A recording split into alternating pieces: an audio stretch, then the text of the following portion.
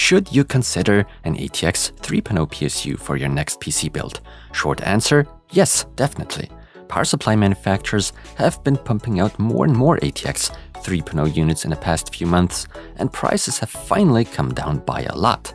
You can grab a decent ATX 3.0 power supply for an affordable amount of money now. And this FSP Hydro G Pro 1000 watt unit I have here today appears to be one of them. At the time of this video, we're looking at about 160 US dollars. Also, we do get 10 years of warranty on this thing, which is neat. So did FSP release a goodie or baddie? And long story short, what are the perks of the new most recent ATX 3.0 spec? There's one thing I'd like to briefly point out first, and that is that I noticed the Hydro G Pro is also available in an older ATX 2.52 version. So to be on the safe side when buying, make sure to get the new ATX 3.0 version. As far as what comes included, there's the power supply itself, all its detachable cables along with the power cord, screws, a few velcro straps, stickers to, I don't know, change the color scheme on the unit side, I see it as a pure gimmick and rather unnecessary. Then some paper documentation, and last but not least, something really neat for us enthusiasts. A PSU jumper is included so that we can turn on the PSU without a system hooked up to it or without using a paperclip. Most people probably won't need it, but for me it's a very welcome accessory for once. First of all, I would like to note how compact today's Hydro G Pro is, even in its 1000 watt version we're talking dimensions of just 150 by 150 millimeters, which is something you'd come to expect from 550 to 850 watt units. Of course, this also means that they've gone with a 120 millimeter large fan only, and not 135 millimeters, as is often the case within this wattage tier. A very welcome feature for me is the so-called eco switch on the rear of the unit. When having the switch flipped to on, the fan will remain off during low loads, only kicking in once the total load exceeds 30%. According to FSP, we should be looking at an average fan noise level of around 21 decibels, which I can somewhat confirm. If you prefer non-stop ventilation, flip the eco switch to its off position. The fan will be spinning constantly then. I believe the fact that the decision is left to us users is great, and I'd like to see that from every manufacturer down the line actually. Fortunately, FSP has come a long way and appears to be listening to us consumers. The overall aesthetics and external build quality seems to be fairly good. I also like the nice coating going on here. As expected, it is a fully modular unit, so each individual cable is removable for better and cleaner cable management we're dealing with a single rail design once more here, meaning that we only see a single 12-volt rail operating, rated at around 83 amps. Both single and multi-rail units have their pros and cons, which we'll actually not talk about today. Of course, within this price range, we are dealing with 80 Plus Gold certification. However, while the majority of protections are in place, I immediately noticed that UVP, the under voltage protection, appears to be missing. I'm no professional in the field of power supplies and electrical systems in general, but I do find the omission of under voltage protection rather strange. So if the voltage were to suddenly drop, PSUs would then suddenly draw more current amps, which is why it's important for power supplies to also come with OCP over current protection. In worst case scenario, the overcurrent protection would have to step in if necessary. Fortunately, today's FSP model does come with OCP. Still, I find the whole thing somewhat questionable, especially since the components used should theoretically provide UVP under voltage protection. So maybe there was some kind of misunderstanding, miscommunication between the engineers and marketing department over at FSP. Should I have made a mistake in my thinking here, please feel free to point that out and correct me. The Hydro G Pro provides us with the following power connectors. One 24-pin, two CPU 4 plus 4 pin, 6 PCIe 6 plus 2 pin, one 12-volt high power 16 pin, 14 SATA, 5 Molex, and even one floppy. The cables are of the flat ribbon type and come in at appropriate lengths. Only the 12 volt high power cable is nylon braided and is kept pretty stiff for bending protection.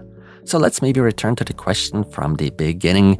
What are the advantages of ATX 3.0? In addition to the often natively integrated 12-volt high-power connector without having to rely on any adapters, by far the biggest advantage here is the significantly higher tolerance to power spikes. It is stated that an ATX 3.0 specified unit can handle up to 200% of its rated load.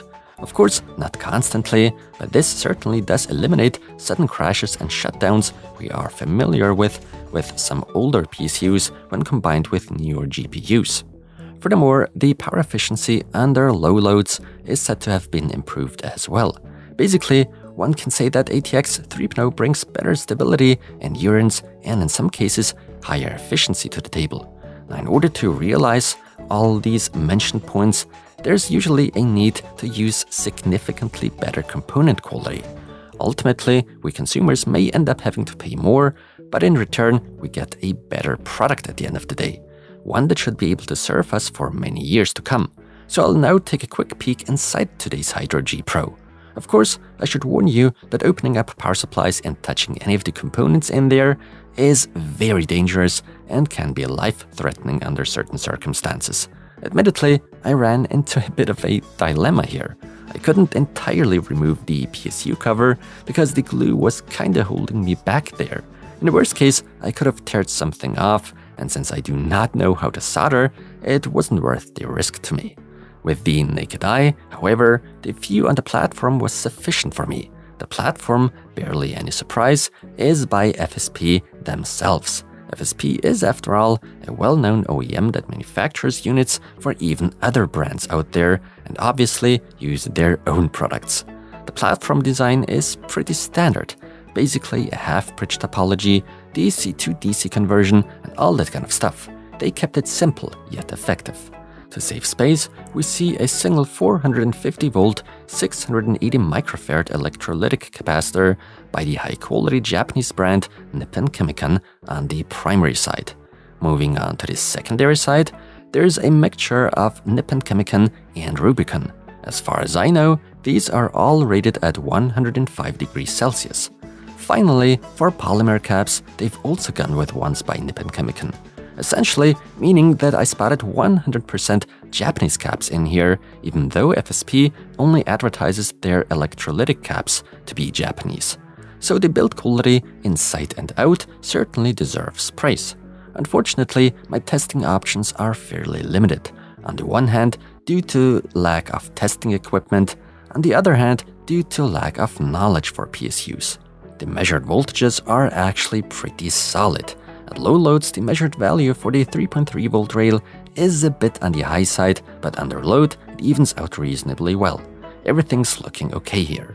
Now, in the efficiency chart, the Hydro G Pro ranks as expected and does exactly what you'd come to expect from an 80 plus gold unit.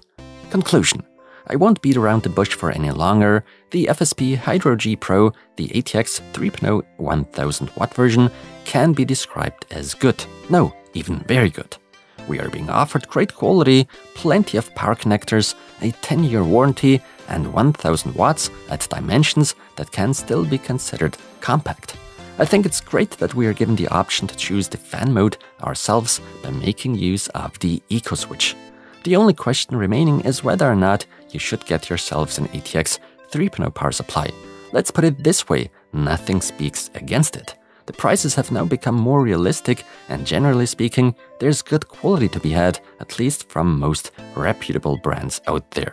For new PC builds, it would certainly be wise to go with ATX 3.0, although I'd advise against an upgrade from your existing previous gen PSU. An upgrade is not always a necessity. If you're running one of the latest power-hungry graphics cards all you have to do is pay a little attention to ensure your PSU has enough headroom to battle those mentioned power spikes. Meaning, if you want to be on the safe side, an older, oversized, overkill power supply is indeed an option. But other than that, ATX 3.0 is clearly the future. So today's FSP Hydro G Pro ATX 3.0 certainly is worth recommending. With that said, thanks a lot for watching and until the next one.